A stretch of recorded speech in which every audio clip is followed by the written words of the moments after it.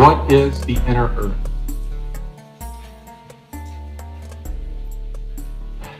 My first, I guess, introduction to any of the inner Earth information was on the smart glass pad.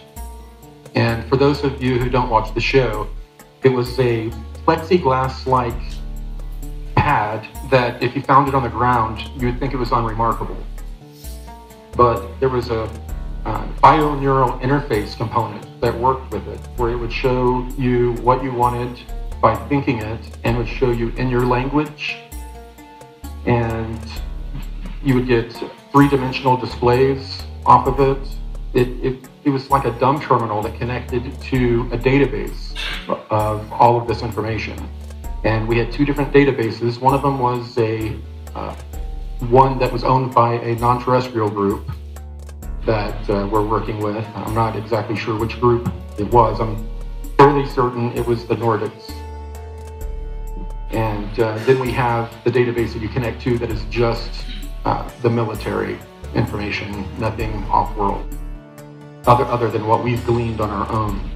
So a lot of the time I spent on the research vessel, it was quite boring. I was either wiping down the walls, um, setting up or breaking down modular building, uh, modular rooms for different uh, experiments. So we would get a lot of time to look at these smart glass pads. And for some reason, the inner earth stuff uh, got my attention. I really liked it. And there, there was a decent amount of information, but it was only probably in the late 70s that some of these beings that were connecting to military types, they were saying they were from a, a different star system. And it turned out that many of them came from below the Earth. And they were just telling us that for operational security, so we wouldn't, you know, come down and uh, ruin the good thing they have going. And as it states, um, we had access to a lot of very high tech data. I was not super scientific minded, so I stuck to the outline information more than I did the actual scientific papers, which I would tend to get lost in. There are major cavern networks all around the Earth.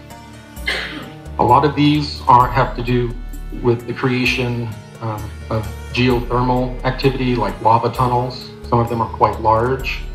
Others come from rift systems that have been exploited by non-terrestrials many thousands of years ago. And they had connected rift systems with tunnels that they created. And this was the ancient builder race that disappeared. And since then, not different non-terrestrial groups, inner Earth groups, and military groups have been exploiting the same underground um, waterways and oh, some areas the size of Texas that are open underground. Some of them are so large that condensation builds up, they have rain, they have misty type clouds. The, the art that I've had depicted, it, you cannot recreate the feeling of when you walk in into a giant cavern and look around and it's there's no way that you can really depict the, the size of these caverns. Amazing. Most of the tunnel, most of the uh, cavern network that are used by non-terrestrials and humans alike are at the most usually about about 40 miles deep or less, within 20 to 40 miles. Interestingly enough, there is a um, some sort of UN law, just like if you go out in the middle of the ocean, you're in uh, international territory where certain laws don't apply. That um, has they've written laws like that for space, but also if you go a certain depth in the Earth, after you get a certain like miles deep, you're in international territory. You're not if you went directly below somewhere in Texas. I can't remember how many miles it is, but once you get to a certain point, you're not considered to be in America anymore. And American laws do not apply. That's why they do a lot of their unacknowledged, unacknowledged, as um, Steven Greer has said, uh, programs is another way of saying illegal. they're they're not legal. So people that are bound uh, to keep secrets in unacknowledged programs, these are um, illegal programs, and they shouldn't be held accountable for leaking that information, in my opinion.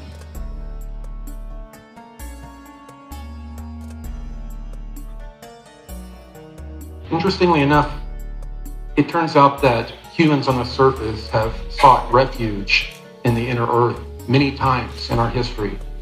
Some of the documentation that I saw on the smart glass pad and imagery that was shown were um, sort of ancient Aztec looking structures that had been abandoned long ago that were inside these caverns, not super deep, fairly close to the surface, where it was obvious that thousands of people had lived there for a protracted amount of time, most likely to allow the surface to return to normal. And what I later found out was that different inner Earth groups, different non-terrestrial groups, were rescuing groups of people on the surface and bringing them under. And it was part of this um, this grand genetic experiment. There were over 22 different genetic experiments going on on the planet. So they are protecting their experiment, their investment. It's kind of like doing an emergency backup so that they don't have to start over again. They, they found a lot of interesting life below ground. Uh, most of it's been uh, a lot of it's been reported, but there are some that it would seem like a sci-fi movie. Giant, not exactly mushroom looking, but fungus that uh, give off blue light. Some of them give off like an orange light, green light. Um, there are um, there, there are all these different types of plant-like and fungus-like life forms down there that actually give off light. They'll break down dead material, or some of them actually break down the walls and themselves and pull minerals out of out of the cave walls.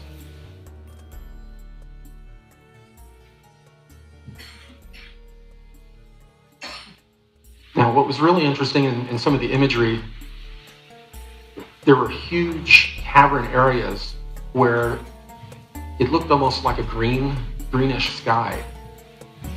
But what it turns out is that all along the ceiling was this lichen type matted material that was absorbing the rock, it turning as a waste material, putting out bioluminescent light. And it wasn't enough to where you could see super well, but it was it was almost like wearing a pair of the uh, the goggles that the military used for um, uh, starlight uh, amplification.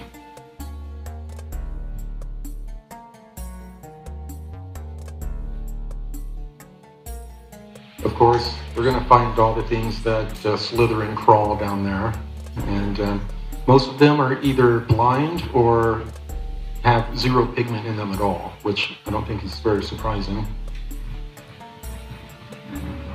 Yeah, the salamanders look really nasty, don't they?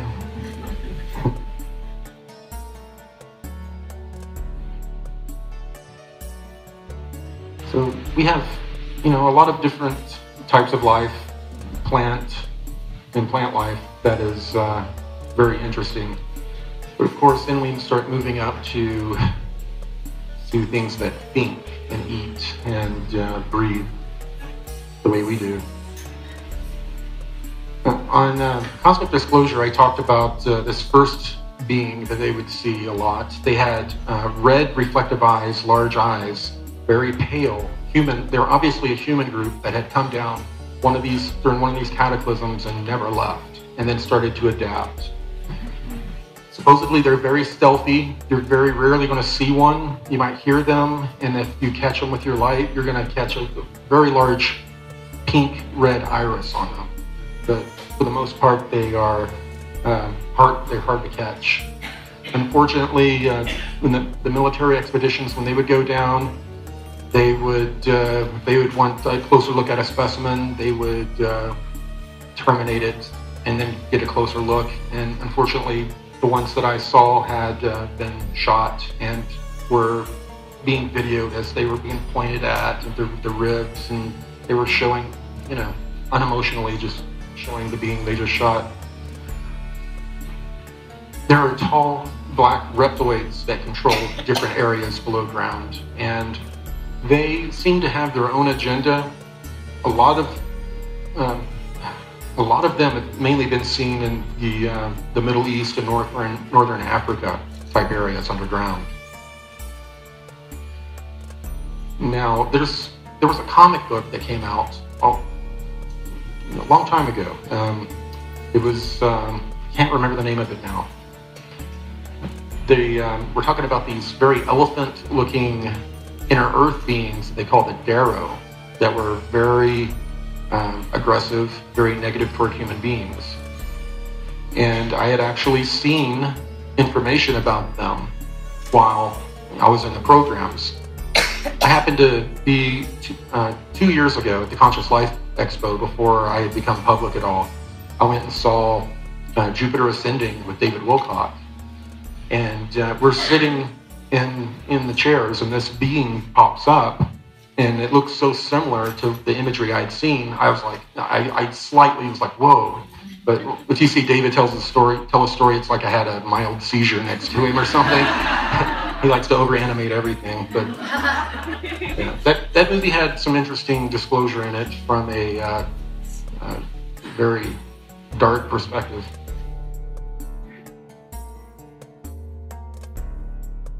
So, what is the the Hollow Earth? This is a story that's been around for a long time. It's not new by any means.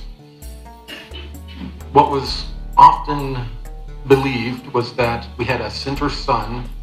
The inside of the crust was hollow, and on the inside there were just people, you know, sailing around and living just mirror to us on the other side. It turns out that there are large enough areas to where I could see where people could get that idea that they, they think it's just one giant empty area. But it's a honeycomb. It's a honeycomb Earth.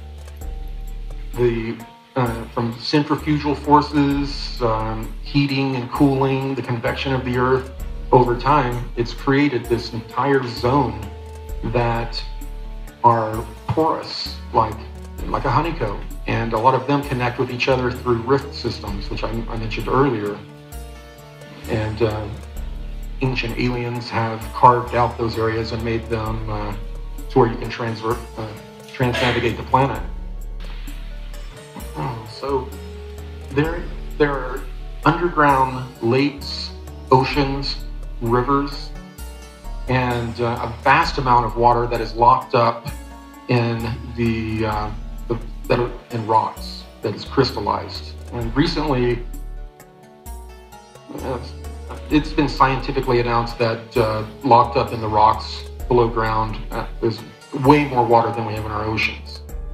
There's plenty of water down there, and a lot of it is very mineral rich, as you would imagine. These underground rivers are, it's pretty amazing how we have submarines that are navigating these underground rivers. Could you imagine being the Lewis and Clark that discovered and mapped out those those areas? You know, I'm sure there's plenty of information about people lost, uh, some harrowing experiences doing that. The legend of Agartha, it really became popular during, again, during the 1930s and 40s. The Germans loved it. The, uh, I guess that, that area of Europe. And they didn't think it, of it as a fanciful story. They believed it to be to be fact.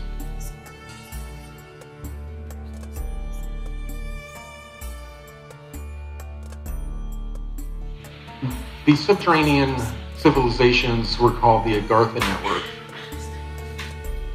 And uh, many times, as I mentioned earlier, these subterranean groups, they would come up and masquerade as gods or angels. As we became more sophisticated, they had to change, their story had to be more sophisticated. Then they began to tell us that uh, they came from different star systems.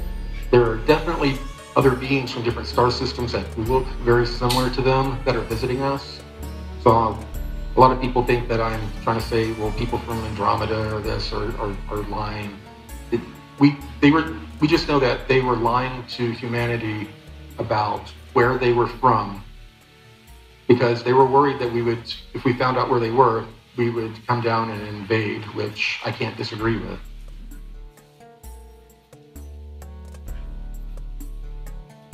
And of course, the uh, Agarthan UFOs, uh, they were, they're called the Silver Fleet, which is interesting. One of the groups that I met that were associated with the Anshar, they have a, uh, a fleet that they call the Silver Fleet.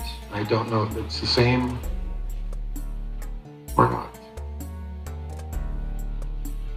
Admiral Byrd has, he's been uh, a character that has been brought up all throughout the Inner Earth type of uh, uh, stories and, and also anything that had to do with, you know, the Germans being down in, in Antarctica setting up bases. But you, you can't really talk about the subject without bringing up Admiral Byrd.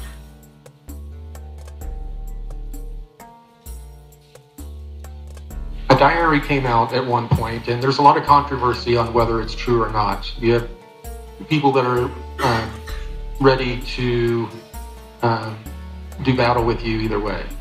So uh, I, I, do know that in the programs that uh, they stated that uh, that part of his information was not accurate that um, he had an actual diary that talked about, um, well, that should come out someday and after full disclosure, that, that talked about moment to moment everything that occurred on uh, his trip down during Operation High Jump. But uh, according to, and, and it's interesting that in recent excavations, I'm getting ahead of myself, that they're finding prehistoric animals down in Antarctica. Because in this book, he is stating that they started to see mastodon and, and woolly mammoth type beings. So there has to be some some sort of truth or uh, information seated in in this uh, diary that is giving us some information that we should pay attention to at least.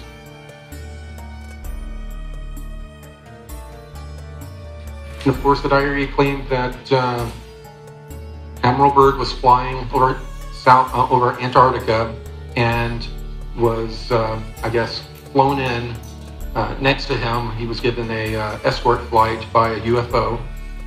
They landed him in a green area, free of ice, and he was then introduced to these tall, blonde Nordic looking beings that had Germanic type accents.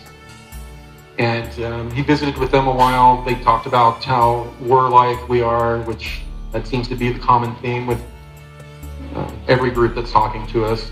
And um, then he was escorted back to meet up with his, um, with his fleet.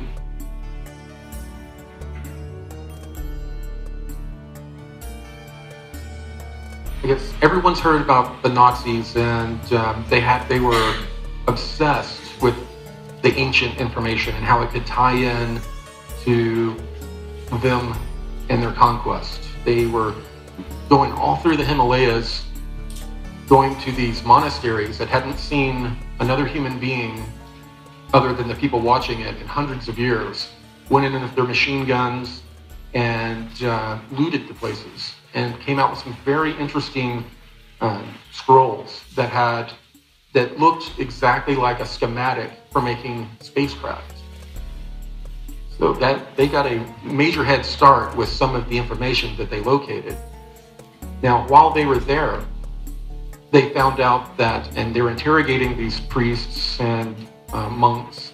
They found out that these monks were claiming to be in contact with an inner Earth group, and that they were um, protecting their secrets, and and it, it, seems that finally the Germans were able to, through these people, meet these inner Earth groups that um, very well. A lot of people think they're they're the inner Earth groups, but I'm I'm pretty certain that it's this Nordic group, this ET Nordic group that's uh, been trying to work against the reptilians for millennia uh, for not necessarily control of the earth, but to try to help us fight back.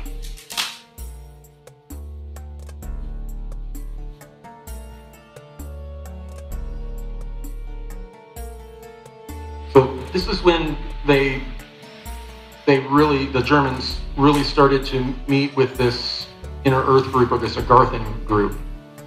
It was right around the same time that they also started to meet with the reptilians. And the reptilians were happier to give them more militaristic type of information and provide a place for them in Antarctica to move uh, as the war winded down.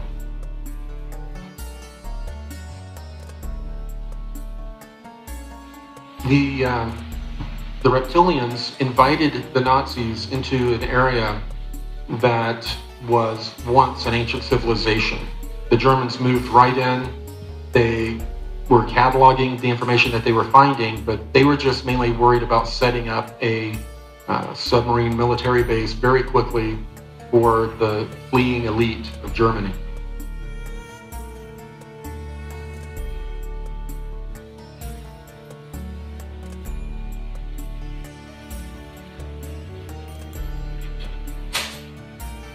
This is the Mayan group. This is really the first group I really ended up getting introduced to.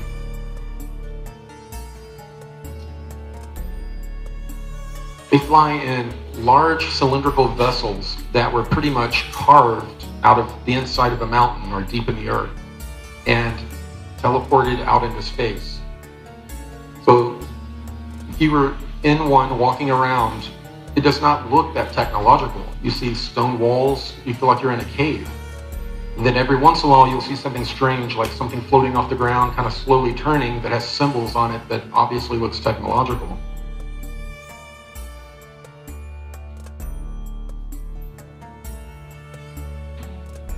Back before I really started talking to David about all of this and all of this came out, I had uh, recently had a detached retina and I was having surgeries from it. And during, uh, after one of the surgeries, I all of a sudden started recalling a lot of the real negative things I was forced to do, a lot of really bad, bad stuff that a lot of us were forced to do over that 20 years. And I was just about suicidal. I was I was really I was in bad shape. My wife was extremely worried about me. And then one night uh, in my house, a, a, human being pops in along with a bunch of these uh, Mayan-looking people. And it was the first time that I met Lieutenant Commander Gonzalez he was with them and he was just giving me instructions because they wouldn't talk or interface with me. They brought me up to this ship and put a halo device on my head. And they used their technology, their healing technology, to help me, I guess, for, not really forget, but file away some of those memories. They told me there was no positive reason for me to have access to them at this point. And a lot of the other memories somehow they removed the emotional charge associated with them. So I could have the memory and not have the flow of emotions that were associated with it.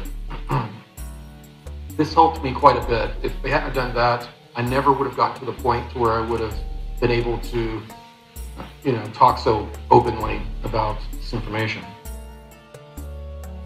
Most recently, they've, they've been doing a lot of um, further help with me. It turns out that the um, all of the blank slating that they had done to me, the experience uh, time in these high magnetic fields that the, uh, these torsion field drives have on our craft, they're not good for your neurology at all over, over long periods of time. So a lot of people, when they come out, they, they start having weird carpal tunnel type neurological issues all over, um, memory issues, and um, I've been having a lot of those issues, and they've been helping me uh, what little they can because a lot of it has to do with if they they don't want to, I guess, reactivate memories and emotions that they helped, uh, you know, help me with earlier. So um, I'm going through that with them, and um, Gonzalez uses this looks like a black cue, cue ball. He walks up and he just scans my forehead and will scan me up and down with it. It just looks like a stone. It's hard to imagine how it could be technological. And then I finally had my meeting with the Inner Earth people. It was it was just a story I had read on the smart glass pad. And other than, I really didn't know what had happened with the Mayan group. I didn't know who they were. I didn't know they were an inner Earth group. So my my first experience was meeting Kaaree here. Uh, she's uh, they put in there inner, inner Earth virgin priestess. she's a inner Earth priestess who I guess happens to be a virgin. Um, she's over 130 years old. When I interfaced with her, I was able to glean that. And uh, her people, they live much, much longer than that, over a thousand years.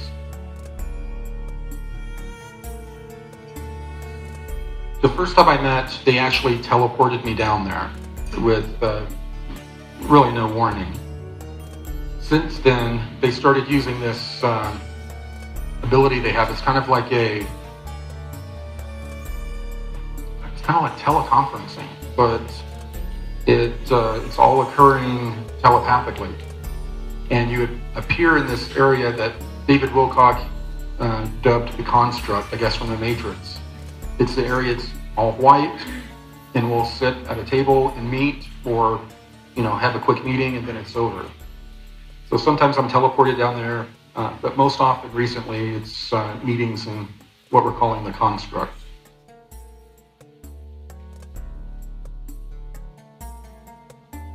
I met seven different groups when I was down the first time. And the fact that these seven groups were coming together was unprecedented. They don't normally associate um, or work together, but a lot had been going on with people from Earth using new type, scalar type of weapons and uh, striking deep in the Earth to try to get to them. And uh, they were having some issues with some uh, non-human groups that they do battle with from time to time that things were starting to get hot for them. So they were meeting as sort of an emergency kind of meeting. And um, the Anshar group had a Saturn symbol that they wore. And depending which group they were, they had a different stone in each uh, area of the, uh, of the amulet. There were some that were that looked very much like this. Had dark hair. And a completely different group that most of them were they had blonde hair or sandy brown hair. And then the third group that Kaaree came from, that they were almost albino, completely white hair, and they had blue eyes, and were uh, they were all very pale and their eyes are just barely larger than us. If you every once in a while you see a person that has just very large eyes and they get your attention, I mean it's only that mild of a difference. This group here, a lot of uh, since I've announced them and talked about them, a lot of people have uh, had negative energy feelings from them. This group is um, mostly based, believe it or not, on Venus, and they have enclaves here on Earth as well, but they are they're sort of uh, militaristic and they're very serious about guarding uh, the treasures on Venus. So that's um, you know, that's that's what they that's what they do. But um, the other inner Earth groups seem to also I wouldn't say didn't like them, but they didn't really seem to trust them kind of kept an eye on them. And then we had a very Asian looking group. Now, a lot of people, they've seen on, uh, on the internet um, this mission that supposedly happened where they went to the moon, found a craft, and found beings in stasis inside of them. And one of them they dubbed the Mona Lisa. She had uh, a, a bump here on her forehead, and a lot of people are thinking that they could be from the same group. And Know, she'd been in space and in stasis, if that was real, for a long time. They, they look a little bit different than that. These, they looked, they had a very strong Asian look, look to them. And there was another group that had, it's kind of like how under your skin you see your vein, the blue vein. Their, all of their skin was that exact same color. And uh, they had more of a kind of a look from like they were from India or, or that area.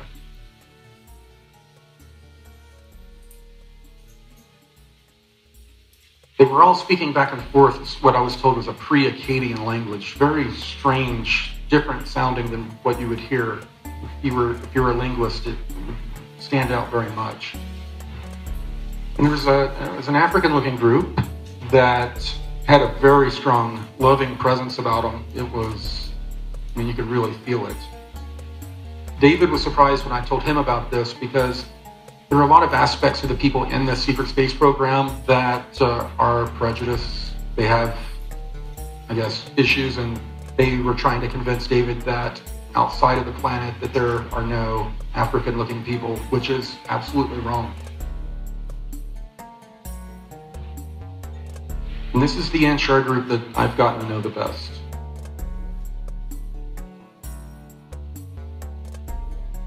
Here's the blonde-looking ones same amulet. This is the group here that they had a space fleet or a fleet of spacecraft that are very formidable that they call the Silver Fleet. And I have no idea if they are associated with the other groups that have a Silver Fleet. The Raptors are a group that seemed to be a holdover, or I guess when the dinosaurs had been removed from the planet for this mammalian experiment, some of them had uh, been pulled underground to be kept safe.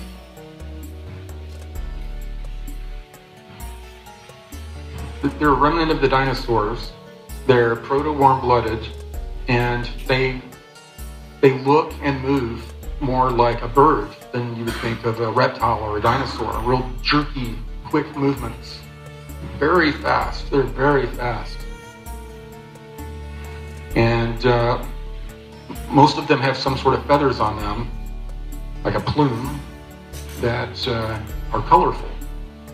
Some people think that uh, this could be behind some of the Quetzalcoatl kind of feathered serpent stories from the Mayans could be. I'm, I'm not sure about that myself, but it's they do inhabit a lot of uh, Central and South America. They've actually they've taken over a lot of areas, including some crystal caverns that these inner Earth groups used to use as libraries, and they lost access. And here's the ones we love to hate, the reptilians. People know more about them than just about any other race. But there are a whole, there, there are a lot of different types of reptilian types of beings. Some of them are rather short, like three and a half, four feet tall. They have a head shaped like the guy there on the right. That's kind of a uh, gray alien kind of look. They kind of look like gray aliens. And a lot of people that have been abducted by them or have had experiences with them have associated, thought that they were picked up by the Greys when it was actually this group.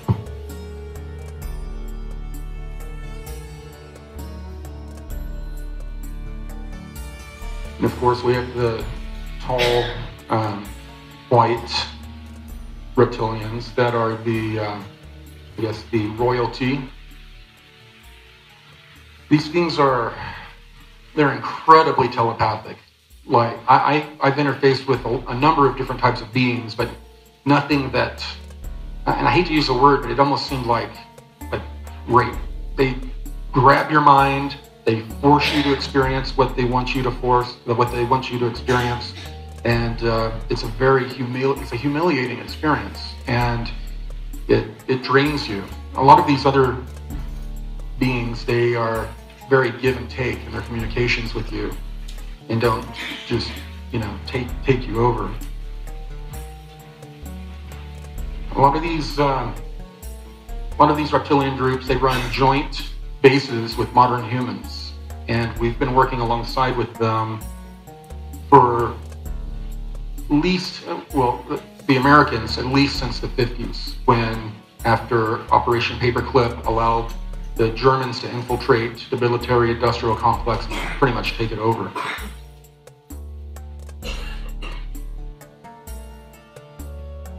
So, as a part of the inner earth, I guess we're a part of the inner earth now.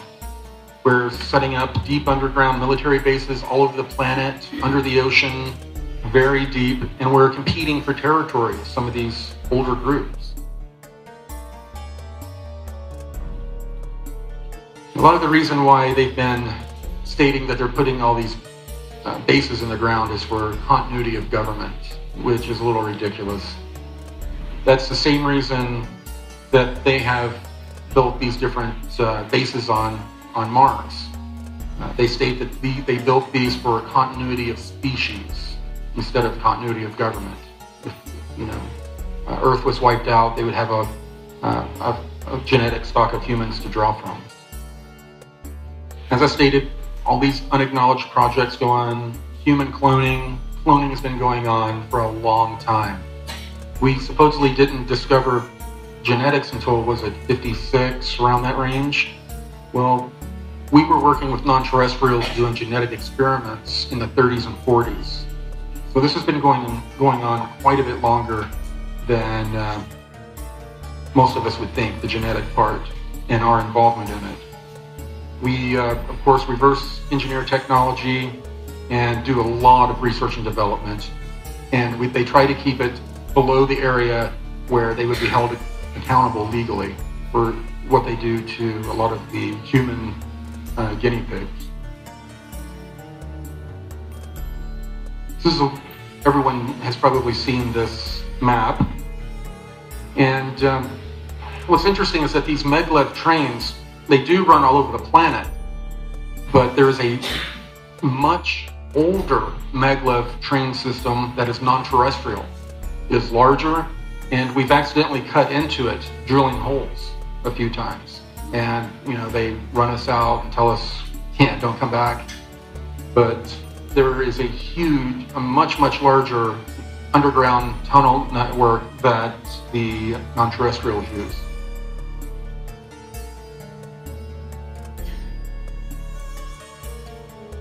Recently, I received a report that I wasn't sure about, but David Wilcock talked to Pete Peterson, one of his insiders, and he seemed to back it up. After the election, a lot of these bases, FEMA type bases, were supposed to be turned over and to, to the next administration's leadership. A lot of these people refused to do so. They locked the doors and said they weren't coming out. So we sent in Marines. The Marines went down and took forever to break through all of the, the concrete, the rebar, this, this reinforced steel. And they were told once they broke through to give everyone in the base one opportunity to surrender. If they refused to surrender or responded violently, they were ordered to wipe out all inhabitants, to wipe out everybody. Unfortunately, they did not completely brief a lot of these Marines that they might run into non-terrestrial beings.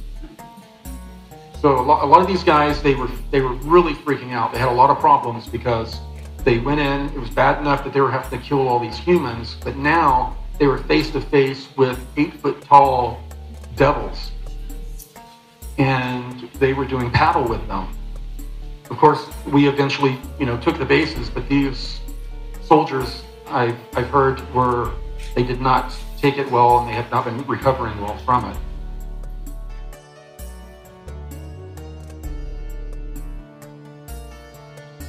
Talk about some of my my lab experiences, and as I stated before, MILABs it stands for military abduction, and it it's we're learning more and more about the programs. Everybody wants to lump them under MK Ultra or, or this or that. There are so many different types of programs that we really need to come up with a different term. MILAB just it just doesn't seem to be accurate anymore.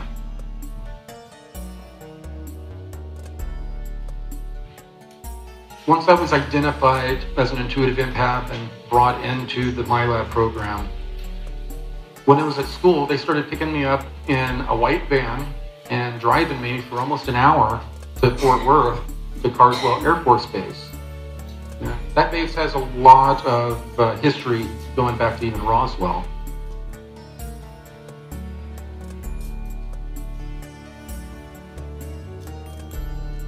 And of course, I would be taken with other kids. We would meet them. We would drive onto the base into a kind of a carpool area that was a hangar for just cars.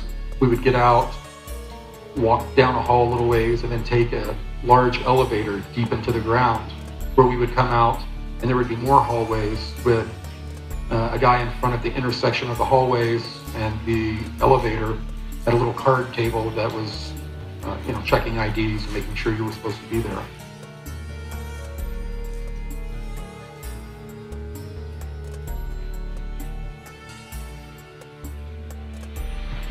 yeah, they had, uh, um, and it didn't turn out that the uh, the base, uh, the wing commander, knew what was going on. I ended up talking to someone that served closely with him, and they didn't believe me. And then I described the base where I was driven, and they were shocked.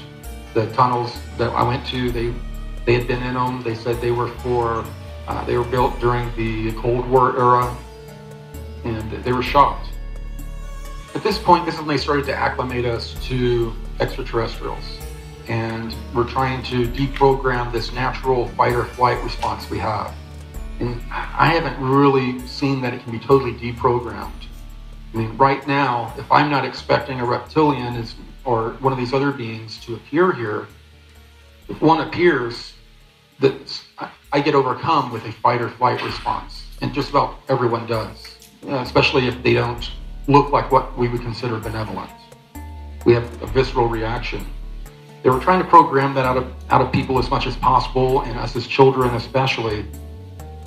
So they would put us in situations in the beginning to where they would give us virtual reality scenarios and then start introducing non-humans through that way, or, or we would come out of being under um, uh, the that type of technology and when we went into the remote viewing session, or the remote viewing, the uh, um, augmented reality session, there would be like three or four guys sitting at a table. And then we would come out, and as they were unhooking us, you'd be looking around, and all of a sudden there would be a gray alien sitting at the table. And no one would say anything about it. They would just, you know, get you all unhooked, and then you would walk out. And they, you know, they started to acclimate us like that.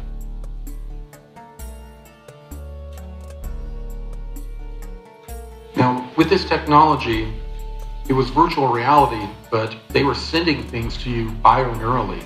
There's a place in your back that where all the nerves cross, kind of like where the two little uh, dents in are in your back.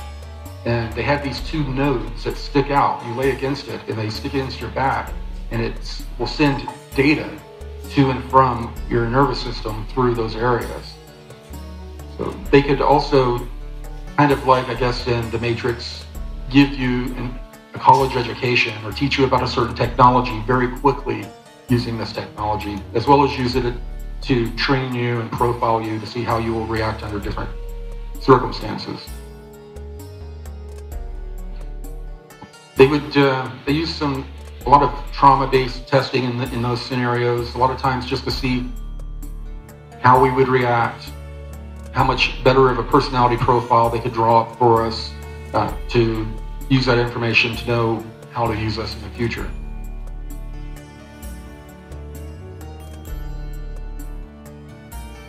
At one point, we were taken to a, a crystal cavern. We were first taken underground on the tram system to a location to where there was there were a number of uh, submarines sitting in a cavern looking area. They looked like regular submarines to me uh, of the era. In the uh, this would have been probably 80 between 81 and 83. I was 11 to 13 years old. So they loaded us all in these in these different subs and took us down. And where we ended up at the time was miraculous. Since then, they've discovered similar looking caves. This one in Mexico, where these are huge crystals that have formed over millions of years that it was it was about 140 degrees where we went. And they had us hooked up to instruments that monitored, monitored our health for several different reasons as well as they had cameras they had all types of different equipment in the room that were doing some sort of they were measuring uh, trying to measure something like electrically and i told the story on cosmic disclosure about how they they wanted us to try to interface or psychically connect with the crystals, that they warned us not to physically touch the crystals because the crystals could harm us or we could harm the crystals, that we were just to reach out to them. And uh, when I did so, I started to see this pink kind of aura around the crystal, and I, I got a download. I really couldn't, it was just too much information for me to try to uh, do a little stop in time to look at the picture. But when we were recently going over this information for the graphic novel, I remembered a, a off, kind of off, not really in the middle of all of us, but kind of back, was a very tall being in a similar suit we were in. I could just see the, this part of their eyes, but between the top of their lip and their forehead and they had very large, pale blue eyes, and their skin was alabaster white. Interesting. I think some of the work that I'm doing with Gonzalez on with my memory and, and trying to fix some of the neurological issues, I'm starting to uh, it's starting to trigger information that for some reason they didn't want me to have. It, it was beautiful. They were beautiful. And you know, we were told that these crystals were, they had a life force to them. And basically when we interface with them, we, uh, we connected with them and were downloading information like a USB drive. And later the information was, I guess, downloaded out of us.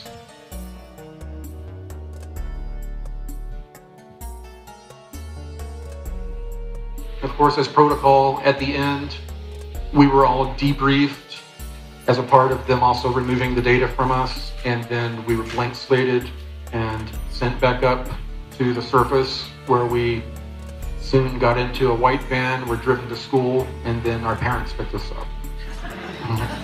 And uh, we were uh, usually given a memory of um, going on a field trip to a museum or to see a show or something like that the screen memories seem to fade away very quickly for me, and, about three to five percent of, of, the people. Um, for some reason, about three to five percent of the people they use these technologies on, uh, they're, they're just unsuccessful, at least for very long. It, the way I've explained it is that, uh, I mean, how do we have memories from past lives? You know, our physical brains were not there to record the information. Well, obviously we have what, since I was in the IT field, we have a, a, physical hard drive and we have a virtual hard drive. And everything we experience now and in other lives are backed up to that virtual hard drive. This physical hard drive can be messed with. It can be reformatted, it can be uh, reprogrammed, but the information that is up in the cloud, I guess you would say, can't be. And if they remove information from your physical hard drive, there seems for three to five percent of the intuitive empaths, there seems to be a automatic download or type of thing that occurs where the information starts coming back and they're unable to um, erase the information permanently. This is the first time I went down to the Anshar area down in the inner earth. I was brought down. There was a, a bright flash. I wasn't expecting it. I was laying down, and all of a sudden I find myself, I'm laying down on a floor in a completely different environment. All of a sudden it's cooler. I can, I can smell and kind of taste minerals. I hear kind of echoey type of sounds. I was not where I was when I went to sleep. and I was in the middle of this this room, and I saw people guarding doorways, kind of off in the distance. And at that point, Kaaree Gonzalez and a small delegation approached me, with, and I, I was still pretty nervous. They then brought me to this cleansing room, which was close by, and it was because we were in on holy ground, I guess you would say. We had to remove the clothing we were wearing and cleanse ourselves in this pool. And you know, for me, for them, it was not that big of a deal. But I was probably about 60 pounds heavier, and all these people looked like vegans. so first off, I wasn't real excited about taking my clothes off. And Gonzalez wasn't making it any easier. I was kind of trying to hide the best I could, and uh, Kaaree comes walking up with uh, towels and the tunic thing that I was supposed to wear, the robe. And as she was walking up, I was kind of using him in between us to block. And he saw what I was doing, and he got a real uh, devious smile on his face, and he took one giant step back. So she she gave me the uh, the robe and the, and the, little towels and left, or, or stepped back away, and then I was guided through doing the embarrassing cleansing ceremony. Once I had the robe on and I kind of shrugged off that experience, we headed towards the actual meeting. Uh, and I didn't even know that it was really going to be this big of a meeting, but this unprecedented meeting between the seven different groups. And above, um, above the, the doorway in the main room, they had Vesica Pisces symbols above each doorway. And uh, the, the little hole in the middle, it looked like you could stick a dowel piece of wood in there. It looked like it held something.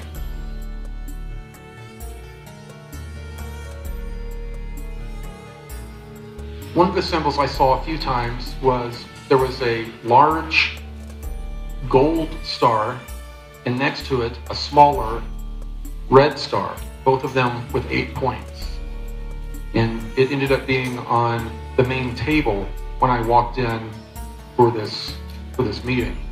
And they had like this is very accurate, by the way.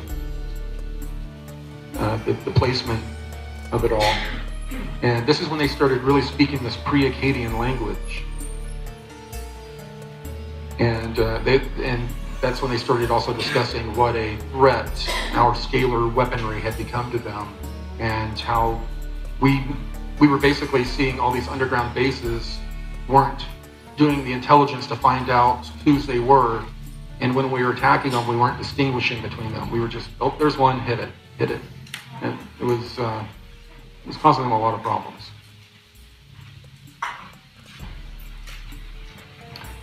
When I was taking to see the city, that's when I was blown away. I walk out of this, I walk out of this area, and it's like when you walk up to a building for the first time and you find yourself looking straight up. It's the perspective is so quickly changed on you. It, it was like being on a different planet.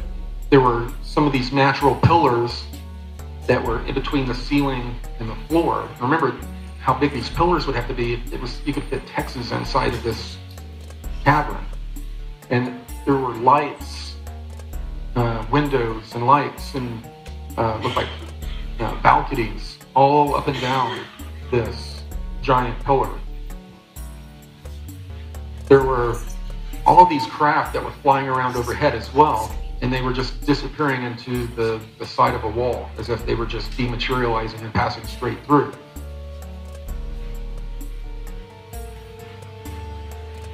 they had uh, they had egg-shaped craft, cigar-shaped craft, and uh, irregular flying saucer type craft that were flying, and it looked like kind of like a highway.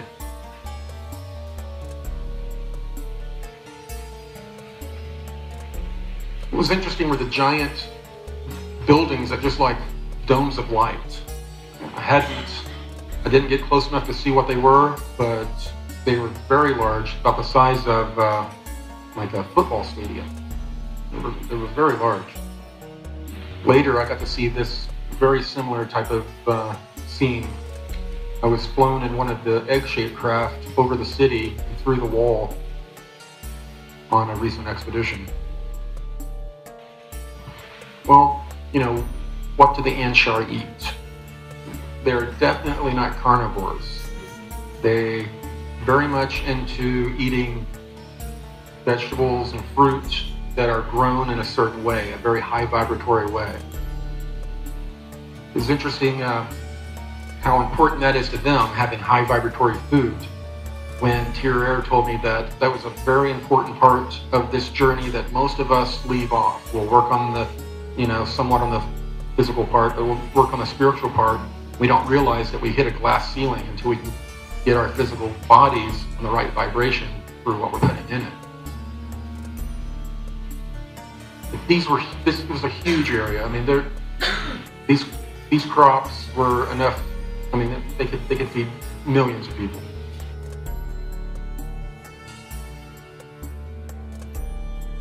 We were taken again to this to this other area that was kind of a park, and it had all sorts of animals in there from a prehistoric era an area that uh, I believe it was before the last cataclysm or that last ice age. There, you could hear the animals in the background. At one point, when we were close to being done, some sort of a loud cat or lion type creature roared. I could feel it in my chest. It was, it startled uh, me at least. And in the middle of that room was a giant obelisk that was very weathered, it looked very ancient. And above, directly above it, towards the top of the cavern, was this giant plasma ball that was putting off the full spectrum of light that our sun does. And during this time when we were, I had just delivered this information, and David Wilcock got that real shocked look on his face I've seen a million times now. And uh, dug around and pulled out a file that and, and then displayed it to all of us at Cosmic Disclosure. And it was uh, his current book cover, the uh, Saturn in the background, a giant glass obelisk with the sun above it, a light, uh, a plasma ball above it. It was really weird correlation. My trip there ended with me being brought to the libraries when I arrived there, completely different look. Everything, all the stone was white and polished marble. And when I first arrived, there was a, a large, skinny gold arm sticking out of the ceiling holding a uh, crystal ball. And when I told David this, he uh, he remembered a story about a, I guess, a pyramid that was found in Bimini underwater and there was a hand holding a crystal, and the guy pried it out. I guess uh, that reminded him of that story. Now, when we walked through the library, we would see these very old rolled up scrolls. We were seeing tablets and different weird looking books that were bound by like plant, plant material and leather, all the way up to the end where I was seeing books that you could have ordered off of Amazon.com a week before. They had the ISBN numbers on them. It was it was amazing. So they keep abreast of all of our of everything. They have full access to the internet. It was down there that uh, Kaaree was telling me that there's a lot of information that has been out there, and a lot of it about the Anunnaki and all that, that is fairly accurate, but that the information very early on had been co-opted by this, uh, I guess, Illuminati type faction that wanted to make their religion our religion, so they tried to skew some of the information. Apparently, to these uh, raptor type beings, they had lost access to one of their crystal caverns that had a lot of information that was very important to them. And they wanted they wanted access to that information. And Kaaree had heard that as a adolescent, I had been brought down there to interface with the crystals. that was one of the big reasons they wanted us wanted wanted to inter- interface with me is to try to see what kind of information they were able to glean. They, they had one of these old crystals and they had it in this chamber that they they were trying to regrow it somehow.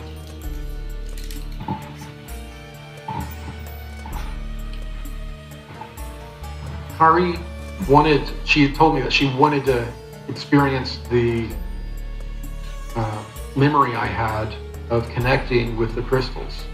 I was kind of leery about it. I, I didn't know who she was. She was wanting to do something that is very personal. And she could tell I was, I had intrepidation. And she walked over to a wall, turned around, and then she had this drink that she called the elixir of Isis that would calm me down and put me in a state to where I could uh, communicate with her better, and I turned it down.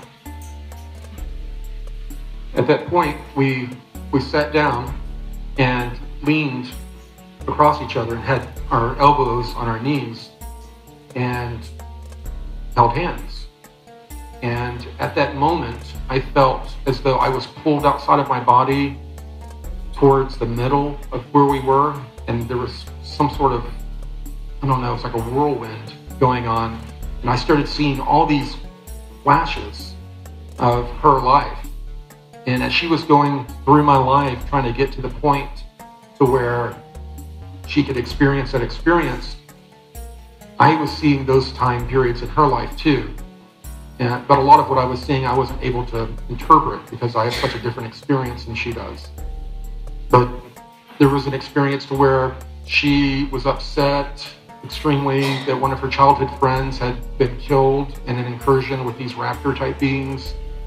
Um, there were a few things like that, and that's when I was able to glean from her that she is a priestess set aside to be holy, that you know she does has never engaged in um, sex or any any of that. She was totally put aside just for what she was doing.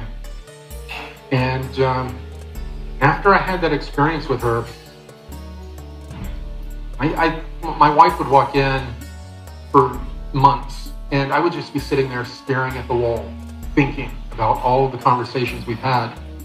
You know, and very little of the conversation that we had in the library and the information we exchanged in this mind meld have I really recorded. I'm still processing a lot of it, and I hope to get, get it out at some point. But it affected me profoundly. After that, I it was very soon after that I found myself having to get on the high vibratory diet. I was eating corn dogs. I was 268 pounds, and I guess people that saw the show, you saw how quickly this transformation happened. It was it was almost bizarre. People at Gaia, when I would show up each time, I was so much different. They they had problems processing it a lot of people out in the community are convinced that I've been replaced by a clone. a skinnier clone, yeah. Now the Anshar, they let me know that for millennia, they have been reaching out and interfacing with human beings and helping them channel information that is spiritually enlightening and also information that is scientific that will help us through certain periods.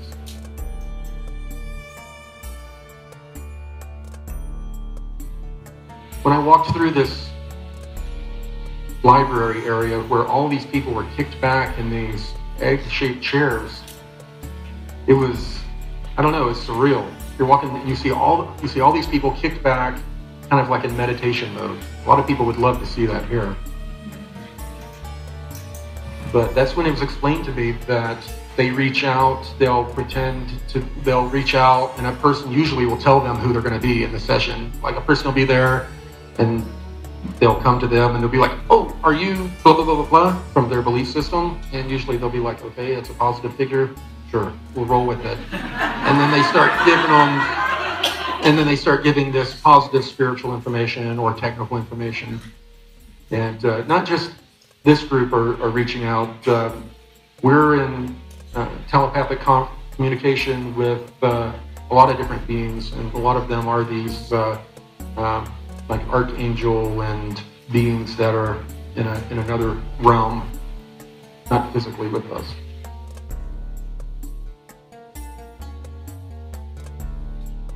The Anshar brought me on two different occasions down to Antarctica.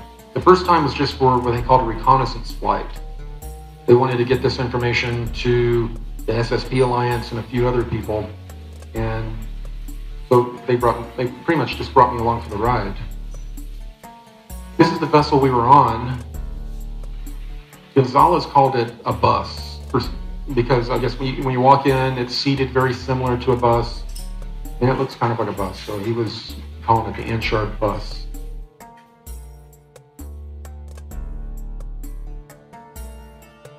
Now, one of the one of the interesting things I was shown is that directly below Antarctica, there is a huge kind of a cavern system that goes in under the water, and then it runs into the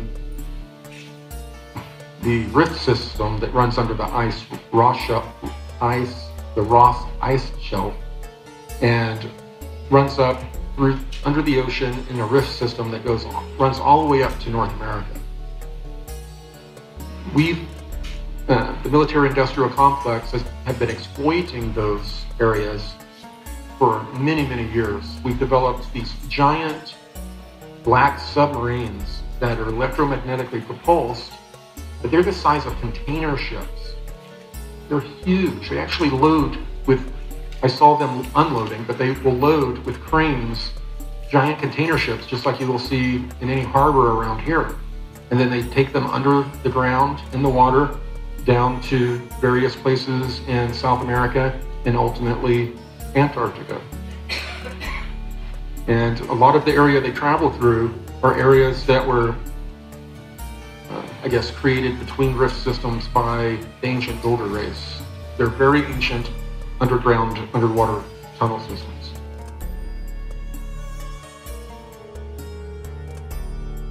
As we were flown in, once I really realized that there was an industrial area under the ice, I, I learned that from the, they told me not to get lost in the telemetry or the information because the craft we were on was very intuitive. If I would wonder about something, all of a sudden all this data would come up about it and the experience was happening so quickly. If I would look at the data, I would miss a whole lot of other. So she was telling me the data is being captured, it will be sent to the proper people. Just focus on looking out the window, basically. It wasn't a window, but. And one of the things we saw was a giant in the middle of this sprawling uh, industrial area, obviously built by humans. They had a huge power plant that was uh, it, it, created power from geothermal. It went into the ground, and the, the geothermal heat allowed them to create steam, which works a lot like a, uh, uh, you know, like nuclear power here that we use. There were large buildings and structures. Like I said, mostly what was above ground there looked like military type base and industrial, like they were building something and excavating something. I wasn't quite sure. A lot of the steam plumes were coming up from pools of, of water. The water was so hot that it was steaming that was coming out.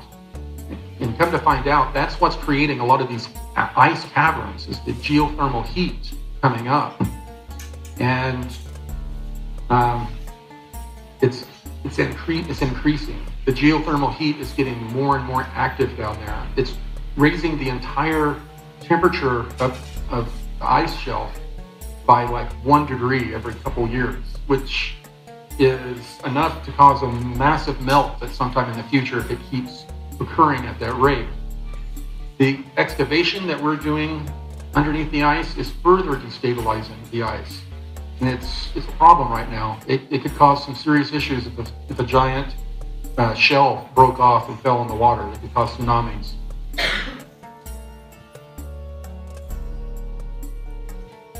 And they're doing most of their excavating with steam, pressurized steam, to clear out areas where they are finding ancient palm trees, ancient structures, mastodons, woolly mammoth type creatures. They're finding them everywhere. they were flash frozen. After that trip, I returned back to the inner Earth hangar area through this blue swirling vortex that was just above the water. That's where I've gone in and out of it you know, several times now. One of the groups that I didn't know about until Ari told me about them was a group called the Banished.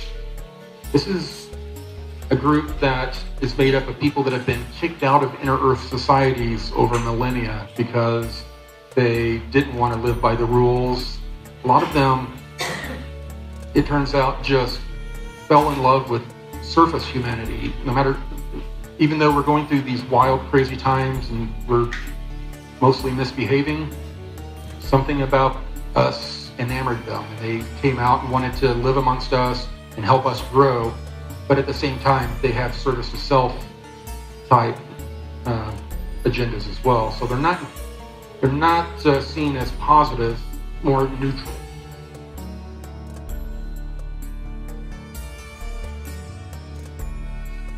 I my first encounter with the Banished, I was actually uh, down at Long Island on our trip, our, our trip last year, uh, family trip. I was laying in the bed, and my son was in the bed next to me, and then there was another queen size bed in the hotel where my wife and daughter were laying.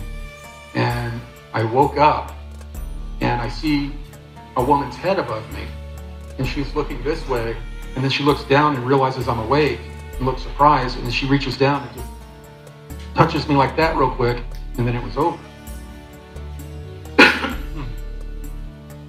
it was uh, disconcerting to me because my family was in the room. Afterwards, I was having a lot of really weird dreams, thoughts that I don't normally have, very bizarre thoughts and, and feelings. And um, as I started to find out more about these people, I started to find out that uh, they tend to seek people in positions of power. They try to intermarry into rich families or powerful families, and that they were having children with the, these regular human beings. Now, it was probably about six weeks. I was I was having all of these bad dreams, weird thoughts, just you know, I just wasn't myself. And I was and I had met with Kaaree a few times during that time period. Finally, I was pulled down in the middle of the night, white flash teleportation, and um, she guided me to this room that had a, a, table on it, where she told me that this uh, uh, banished person named Mara had infected me somehow with entity attachments. And that these entity attachments were being used to keep tabs on me and also to get information or intelligence about what was going on with the Anshar. She had me lay down and she pulls out this real long crystal and starts waving it over me. And it's, it's making noises kind of like how uh, crystal glasses with water in them, you rub your finger around them, they make kind of a singing noise. It's kind of, it was making these different noises. And then all of a sudden, I started seeing these shadows darting away. So, you know, they were removed. I was glad they were removed, but I wasn't uh, very happy that they were there to, to, begin with. I asked her why she hadn't removed them in our prior meetings, or at least told me about them. And she stated that they had to wait till uh, they had tried to attach to my energy vortexes, but just before they completely attached, to remove them.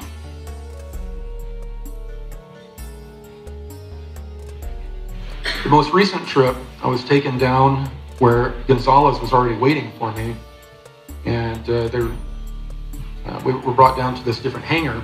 And this is the time when we got in a one of these egg-shaped craft, and they just started flying us through the walls and over the city. I got to see that scene that you saw flying over the city and before we flew through another wall.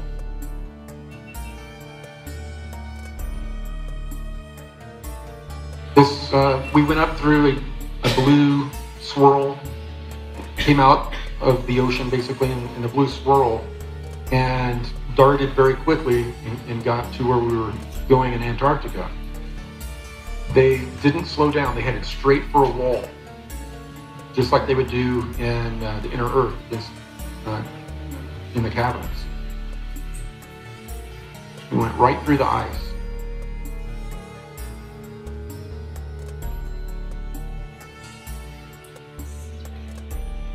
We ended up in a very similar area I'd been to before, a big giant uh, cavern of ice, where about a football field or two away were a bunch of people steaming the ground, digging, and they didn't notice us. I, I don't know if we were cloaked or not.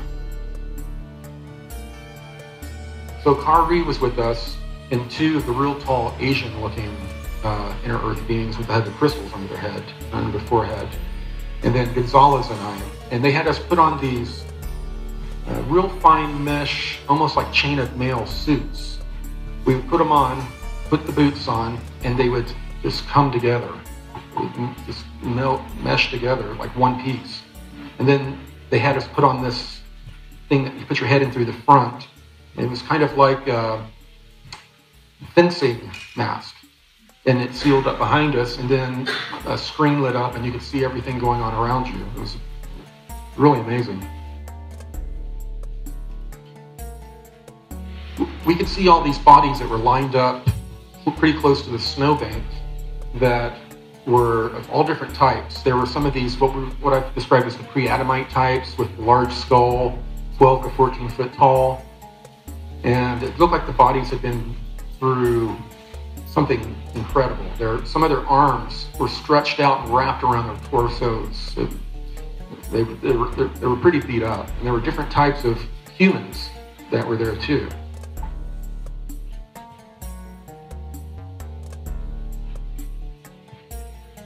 Gonzalez had with him a, a, special core sample kind of tool that we were using to push into these frozen dead bodies to get genetic samples. He was also taking some sort of images as he was taking the sample.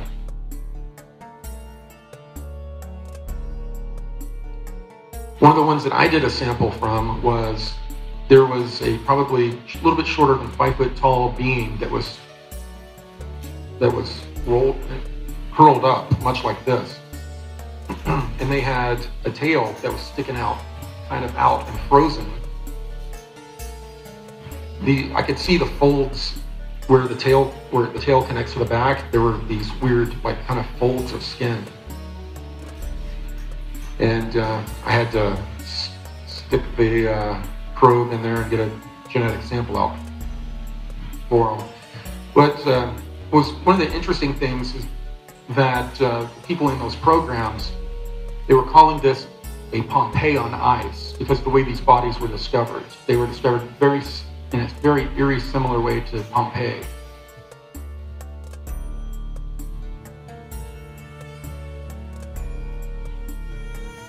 These were the one on the on the right is one of these original pre-Adamite type beings, and uh, they had the long, elongated skulls, kind of the fatty pockets on their chests, kind of a pot belly as well, and very wide hips, very interesting wide hips. And of course, many of y'all have seen that with uh, the ancient Egyptian depictions of some of the pharaohs. Akhenaten and some of them that were depicted with strange physiology. And some, some of these uh, elongated skull beings that ended up ruling Egypt and other places were they were survivors or remnants after the last cataclysm that happened. These, guess, lack of a better word, these Atlanteans were stranded in little enclaves all over the planet. They no longer had access to their technologies, or most of their technologies, or each other. They were separated and really didn't begin to talk with each other again. The group, there was two different groups. One group was uh, Europe, Africa area, and another group was here in the Americas. And until after the time of Columbus, they were not able to really uh, interact with each other. And there seems that there is a long standing competition or feud between the two groups, as it is. These images really show, I guess, the strange bodies that they have, the, the pockets of fat on the belly, and the, real wide hips and narrow waist. It's striking.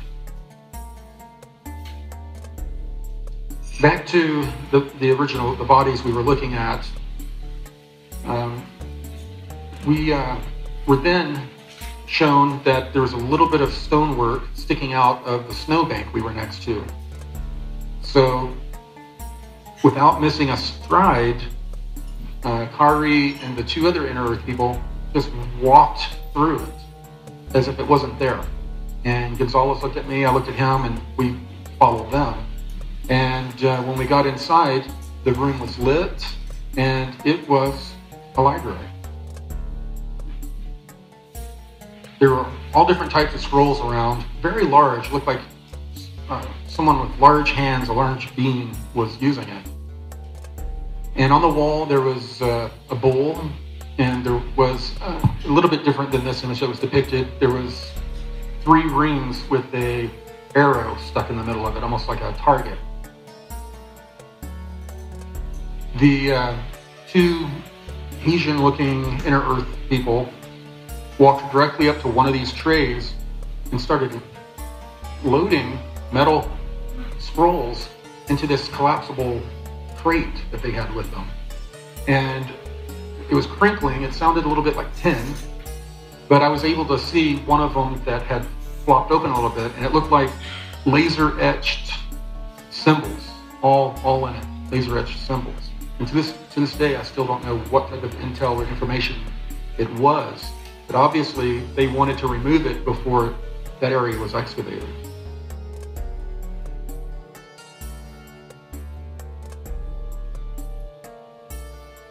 So, you know, how is all this information really important to us? You know, we, our consciousness is expanding at a huge rate right now.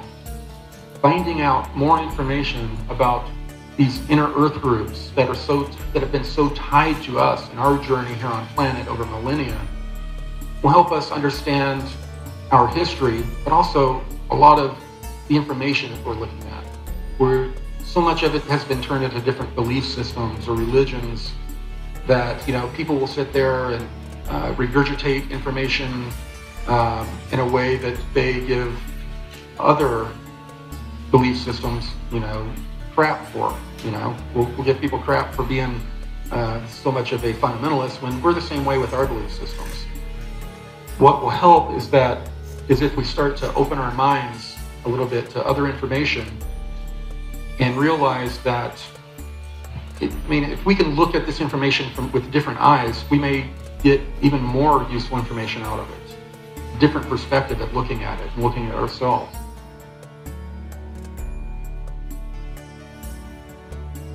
Of course, I have to talk about the graphic novel. Um, interestingly enough, when I was uh, conversing with Tear-Eir, stated that all this is really great work, were planting information to the seeds of consciousness, but they wanted not only me, but all other light workers out there to find a way to not just be preaching to the choir. The people I'm talking to here, you already have a propensity to believe some of this stuff or believe uh, a version of it. We need to get this information out through our different talents, different ways of art, music, uh, different types of media. And, and I don't want people to say it feel like they have to just spread the blue avian message or this information, but they, I think everyone right now is being pushed to spread this positive information, loving information in a way that will kick in the hundredth monkey effect on a larger scale. More and more people will, they won't know why, they'll want to be more positive.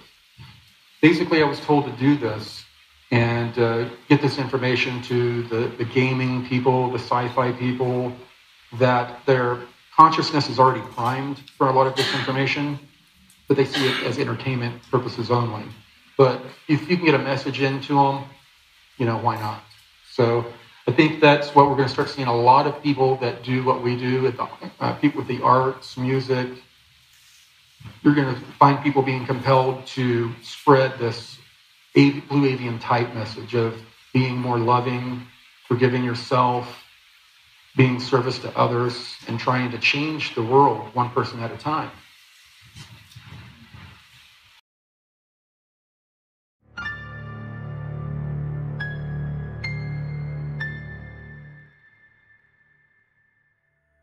What is their message? Their message for humanity is that we need to become more loving, we need to become forgiving of ourselves and forgiving of others.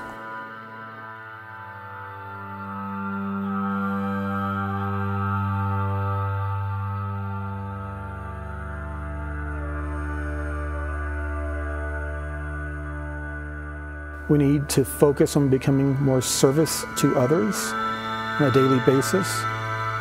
And we need to focus on raising our vibration and our consciousness.